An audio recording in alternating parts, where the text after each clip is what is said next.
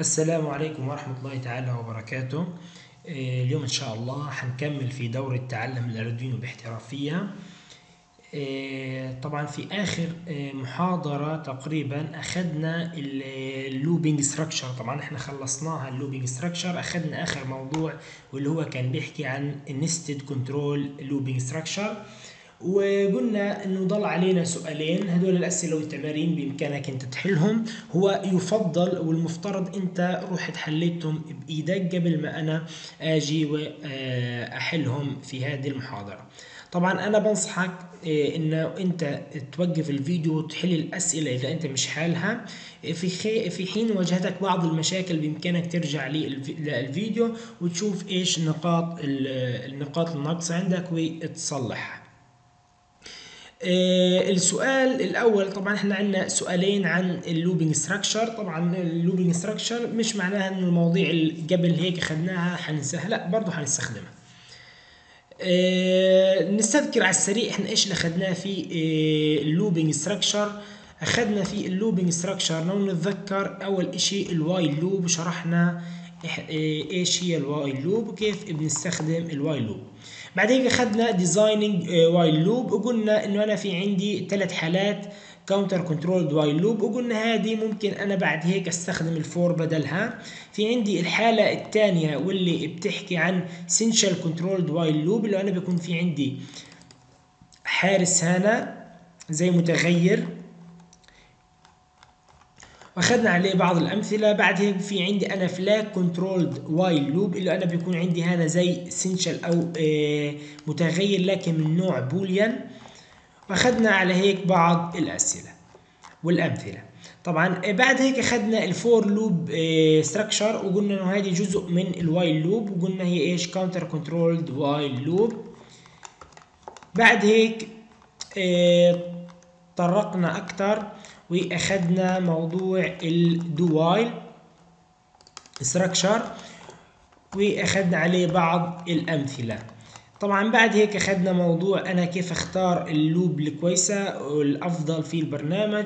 قلنا لو أنا عندي تكرار عارف عدد المرات بختار ال for loop لكن لو أنا في عندي آه تكرار مش عارف عدد مرات والبرنامج ما حددليش وممكن ما يصيرش تكرار من الأصل بستخدم الواي. لكن لو ممكن لكن لو أنا عندي عملية تكرار واحد على الأقل بستخدم ال do while بعد هيك أخذنا ال break وال continue statements وآخر موضوع أخذناه كان آه كنت nested control structure وقلنا إنه أنا بستخدم for جوا for وقلنا بشكل عام أنا ما بدي أسامي المصطلحات أنا جملة ال for loop ممكن أحط فيها أي جملة if switch for أي حاجة.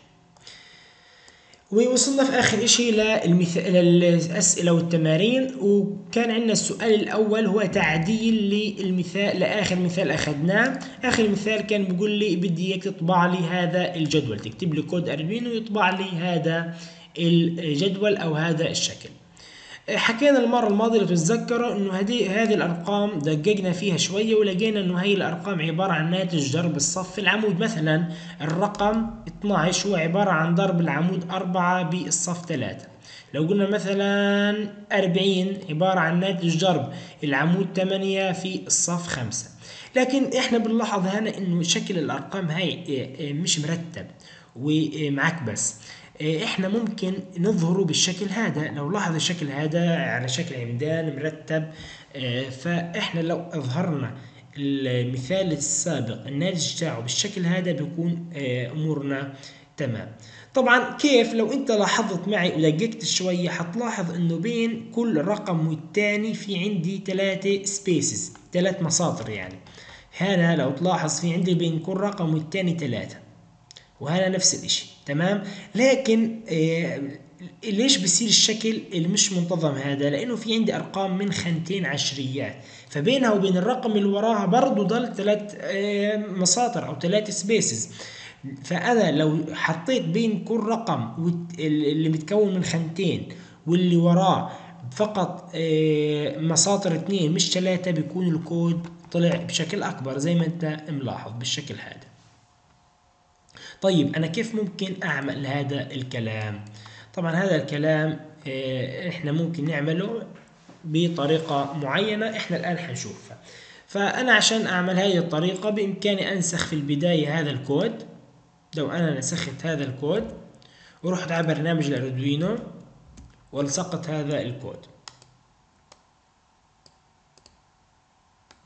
طبعا إحنا الآن بدنا نرتب بس الشكل بحيث إنه يكون آه، مقروء بشكل أكبر. هيك الكود مقروء بشكل أكبر. طيب هذا الكلام أنا لو أخذته ورحت على برنامج التينكر كاد ولصقت ممكن أنا أشوف الخارج تاع الأردوينو طبعا أحول أنا هنا لنص مش بلوكات. أنا الآن لو شغلته طبعا هذا هو أعطاني النظام تاعنا. طبعا هنا بيختلف شوية لأنه هنا في مسطرة لو حطينا مثلا كمان مسطرة مثلا نقول مسطرتين أو ثلاثة مثلا هي ثلاثة. هيك هيك نفس اللي موجود في الملف. طيب أنا لازم الآن أعدل على هذا الكلام بحيث إنه يطلع لي بالشكل المناسب والشكل المرتب. كيف أعدل؟ إحنا حكينا لو أنا عندي الرقم بتكون من خانتين فهذا معناه إيش؟ إن أنا بدي أحط مسطرة تنتين مش ثلاثة لكن لو هو من خانة بدي أحط ثلاث مساطر. فكيف بدي أعملها؟ بسيطة. الرقم اللي بتكون من خانتين هو هذا الرقم بيكون أكبر من تسعة. فأنا بكل بساطة بقول له if i ضرب ضرب j تمام إذا i ضرب j أقل من تسعة أنا حأطبع إيش؟ حأطبع ثلاث مسافات طبعا أقل أو يساوي تسعة حأطبع كم؟ ثلاث مساطر لكن إلس غير هيك شو معناها؟ أنا بدي أطبع مسطرتين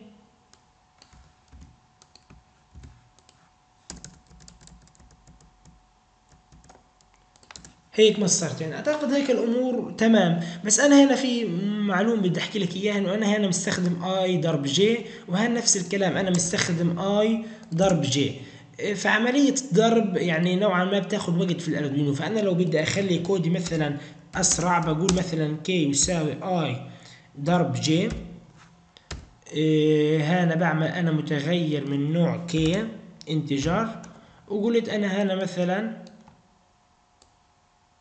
k وهنا k برضو بمشي الحال. يعني نفس الإشي بس أنا هيك الكود أعتقد أكبر بس أنا ضفت متغير فصار في مساحة في البرنامج أكبر. الآن أنا لو اخذت هذا الكود ورحت على برنامج الأردوينو وحطيته.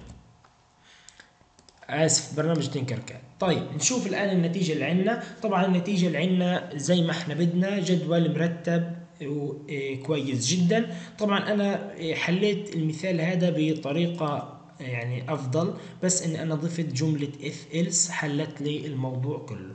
طبعا البرنامج هذا إحنا شرحناه قبل هيك إحنا كيف بنبنيه؟ قلنا إنه أنا عندي خمس صفوف معناها أنا بدي أعمل for خارجية بتعيد لي خمس مرات.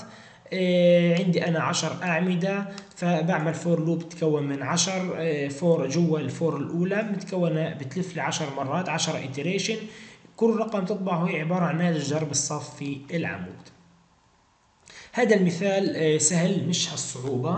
آه، بيعتمد على المثال اللي قبل لكن بس إني أنا بدي اظهر بشكل أكبر أفضل. الآن أنا في عندي في سؤال اثنين هو السؤال اللي أقوى واللي حياخد معنا وقت. طبعا أنا حرفق لكم آه، حل الأسئلة في وصف الفيديو.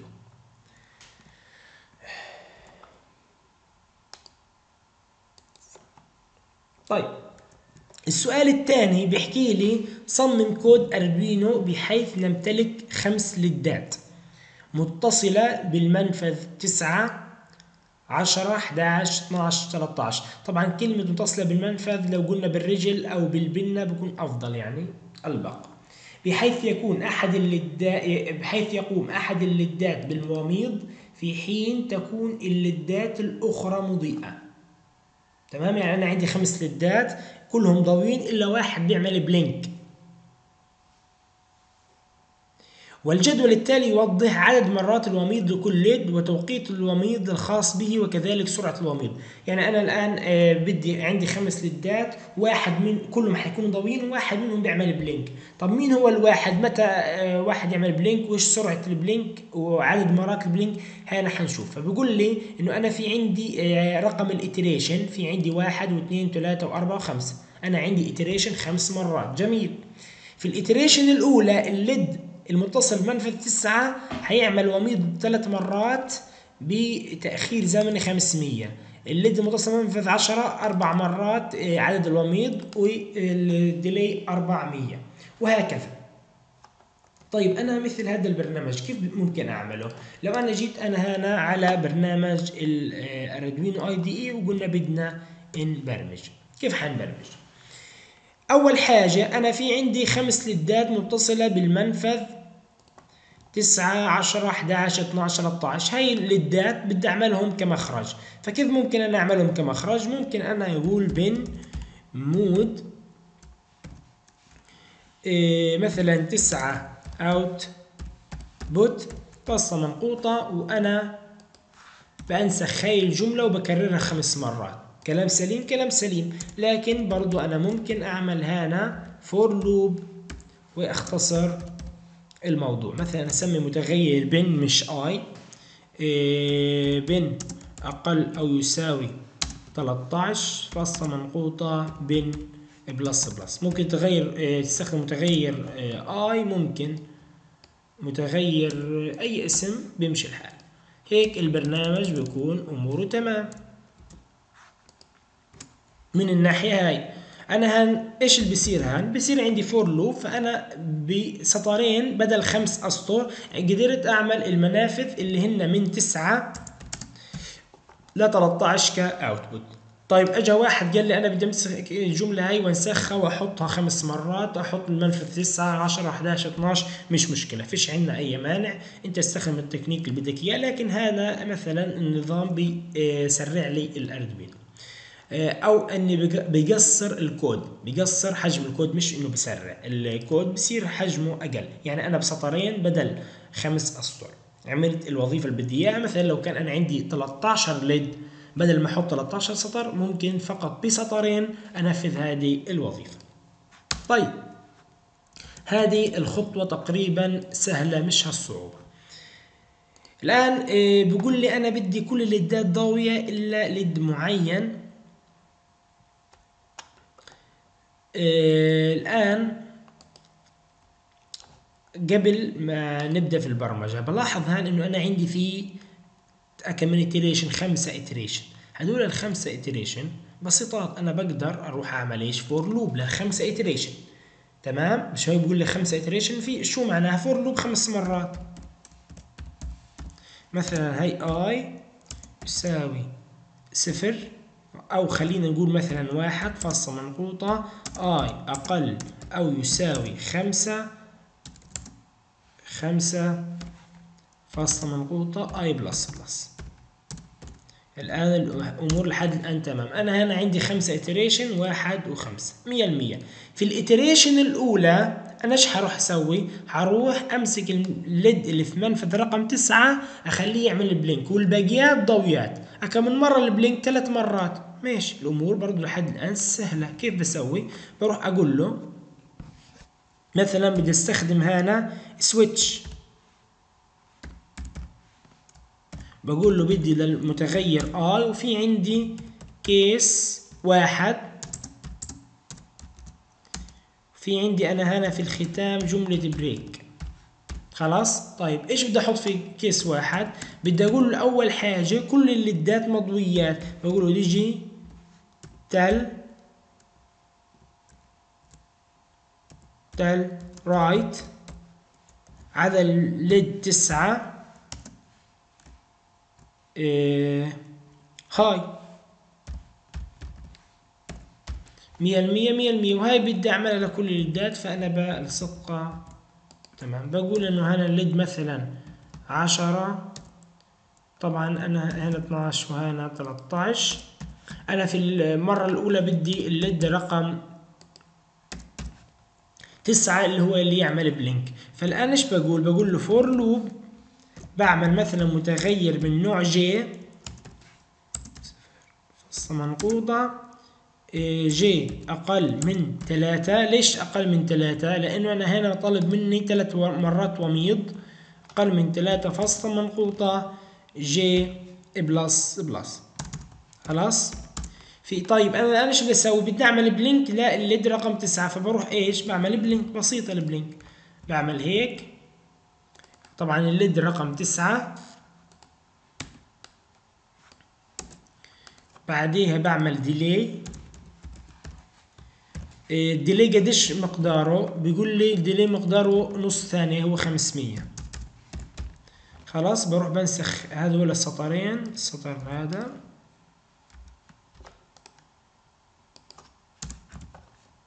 وهان برضو تسعة لكن هنا في عندي لو بدي اعمل blink خلص الأمور هيك تمام. هذا لمين؟ لل case رقم واحد. تمام؟ ال case رقم اثنين إيش بيسوي بنسخ الكلام هذا كله زي هيك. Ctrl C بنزل سطر. Ctrl V بعمل هاي case إيش؟ اثنين. وبغير هذا بخليه هنا آه تسعة. وهذا عشرة. عشرة آه عدد ال delay لو نرجع لجدول أربعة وهذا أربعمية أعتقد. خلاص؟ أجينا؟ آه تمام. مية المية الأمور تمام. تمام؟ وبنسخ وبكرر لكل حالة وبشغل البرنامج بشكل سليم. الكود طبعا الكود نفس هي لو نشوف الكود هو نفس الكلام اللي حكيته. بيعمل أول شيء هاي لكل المنافذ بعدين blink ات وبعدين بعمل break وهكذا. تكرار لجميع الموجود عندي.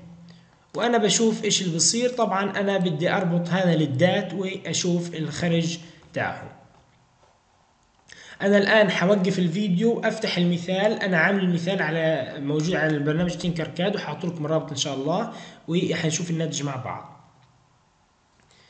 طيب هذا هو الآن إحنا نلصق الكود هنا ونشغل البرنامج. بلاحظ هي عندي الآن أربعة ثلاثة بلينك بعدين هنا أربعة طبعا هنا بشكل أسرع. الآن هنا بصير عندي أسرع شوية وعدد أكتر هنا أسرع أكتر وعدد البلينكات أكتر وهكذا. طيب إحنا لو نلاحظ هنا في إن الشكل تاعنا الكود هنا معنا أخذ يعني عدد كبير من الأسطر. بلاحظ هنا عندي 34 سطر وخليني أقول لك إن الكود مش مستاهل. يعني ال 34 سطر هذول كتار. ليش؟ لأنه إحنا هيك لما برمجنا بالطريقة هاي برمجنا بطريقة عقيمة. وخليني أقول لك هي بحكي لك من المعروف إنه يمكن حل أي مشكلة برمجية بأكثر من طريقة. برنامج تكتب برنامج بالطريقة اللي بدك اياها وإحنا حلينا أول two بالطريقة الكلاسيكية العادية إن أنا فكرت تفكير أولي أنا كيف بدي أبرمج؟ عندي برنامج بدي أبرمج. لكن لاحظت إنه البرنامج بسيط ومع ذلك أخذ مساحة كبيرة. إن شاء الله قدام لما ناخذ ال function الكلام هذا بنقدر نحله عن طريق دالة نعملها مرة واحدة ونعمل لها استدعاء. طيب هل أنا ممكن أقصر الكود بطريقة أكبر وأفضل بالمفاهيم اللي أنا أخذتها؟ طبعا آه. طبعا لو تشوف هذا الكود اللي أنا حاطه الكود هذا أصغر بشكل يعني بشكل كبير لكنه إيش؟ بيعمل نفس الوظيفة. طيب أنا كيف عملت هذا الكود وكيف برمجت هذا الكود؟ لو إحنا رجعنا للسؤال مرة تانية خلينا نطول في السؤال بشكل أكبر. أول حاجة بلاحظ أنا إنه المنافذ هنا 9 10 11 12 13 أرقام ورا بعض. أمور تمام. هذه أنا في البرنامج اللي أنا عامله مش مستخدمها لكن أنت ممكن تستخدمها. طيب نيجي هذا للملاحظة الثانية أنا عندي عدد مرات الوميض إيش؟ أعداد ورا بعض ثلاثة أربعة خمسة ستة سبعة شو معناها؟ إنه أنا في كل iteration في كل iteration إيش حروح أسوي؟ حروح أعمل increment واحد لعدد مرات الوميض. طيب أجي على الديلي الديلي 100 خ... آسف 500 400 300 200 100 شو معناها؟ أنا في كل iteration حروح أعمل لل delay ناقص 100 أنا مش هشرح الكود بشكل يعني مفصل لكن حذكر لك بعض النقاط. فهذا هو نفس الكلام. أنا ال delay كل مرة بعمل له ناقص 100 وعدد مرات ال blink إيش بعمل لهم plus واحد. في كل إيش iteration. أنا عندي iteration كبيرة هاي. هاي for loop ال for loop هي هنا أول حاجة بيعمل لي لل LED ات هاي ما عدا ال LED اللي أنا فيه. لأنه هي بيعمل لي أنا إيش بيعمل for loop من 9 ل 13 ال LED اللي أنا في عنده رقم ال iteration أنا إيش؟ بعملوش برفعوش هاي لكن أنا هنا بعمل له blink طب قديش عدد ال blink ات؟ هي ال number ال number أنا معرفه. هي أول ما أبدأ ال loop بثلاثة وبعد هيك بزوده. طبعا آه، مش هشرح الكود بتفاصيل يعني آه، دقيقة دقيقة لكن آه، يكفي إني شرحت لك بعض النقاط فيها. طول في البرنامج بشكل أكبر هذا. البرنامج هذا أنت لما تحله أو إذا أنت عملت زيه أو طريقة أقرب منه هذا بدل إنك فاهم البرمجة بشكل أكبر. طيب لو حد برمج في الطريقة الأولى الكلام سليم مية المية وبرضه أنت معناها فاهم البرمجة أمورك تمام. هذه المواضيع أنت يعني كل ما تبرمج أكتر كل ما بتزيد خبرتك أكتر كل ما بتستفيد إن شاء الله أكتر. لو أنا أخذت البرنامج هذا ورحت على التينكر كاد وشغلته حلاقيه بيعمل لي نفس الوظيفة القديمة تمام؟ طبعا 22 سطر عدد أقل لكن وظيفة نفس الوظيفة. تمام؟ فدايما أنت قبل ما تروح تعمل آه، تحل المشكلة تاعتك طبعا أنت الآن بتتعلم الاردوينو مش عشان تحل أسئلة. لكن أنا بحكي لك لو أنت مثلا حطيت في مشروع أنت امسك مشروعك وحله بشكل أكبر لأنه أنا هنا حللت المثال اللي عندي أو السؤال اللي عندي لقيت إنه في هنا تسلسل. أنا بقدر أستغل التسلسل الهنا والتسلسل الهنا بإني أصغر الكود. لكن مثلا الأرقام هاي لو ما كانتش متسلسلة والأرقام هاي لو ما كانتش متسلسلة ماشي أنا ممكن أروح للطريقة الأولى وهي الحل. لكن أنت دايما إيه طول مشكلتك بشكل أكبر وحاول وظف تفكيرك وبعض معادلات تصف النظام اللي عندك عشان يطلع عندك الكود أسرع وأصغر وأكثر قابلية للقراءة. إيه، أعتقد المثالين هدول أو السؤالين هدول اذا انت حليتهم بيكون أمورك طيبة في ال for loop إيه، برضو ال for loop إحنا مش هنخلصها ونحطها على جنب لا حنضلنا نرجع لها تاني ونستخدمها في المشاريع القادمة. إيه، طبعا بهذا الفيديو إحنا بنكون خلصنا ال looping structure طبعا هو هذا أحد مواضيع شابتر ثلاثة. بضل عندنا في شابتر ثلاثة موضوعين اللي هو موضوع طبعا مواضيع النظرية تقريبا خلصت مواضيع البرمجة. بشكل أساسي خلصت. بعد هيك خلاص حتحلو الدورة وحتكون آه، عملي بشكل أكبر. آه، حنتعرف أكثر على الأردوينو في المحاضرات القادمة. على المنافذ اللي بتوفرها الأردوينو حنعمل بعض المشاريع الجميلة. طبعا خلينا نوقف الفيديو على هيك. طبعا نتمنى لكم كل التوفيق وبتمنى تدعموني ب like ب share subscribe لأنه هذا بيدعمنا وبيساعد على نشر العلم. وإن شاء الله الأجر والثواب لك آه، ويعطيكم العافية والسلام عليكم ورحمة الله تعالى وبركاته. نلقاكم في محاضرة قادمة.